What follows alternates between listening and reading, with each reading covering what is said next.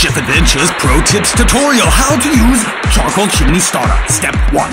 First, wad up 4 to 5 pieces of paper, throw them in the bottom of your chimney. Step 2.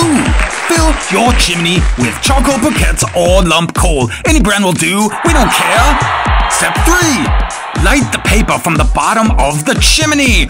Go around, light it up. When you see the smoke, your paper is lit. Walk away, give it its time. Grab a beer, come back. 10 minutes. Whoa, that was fast. 15 minutes. Whoa, they're ready for the grill. Pour it into your charcoal grill.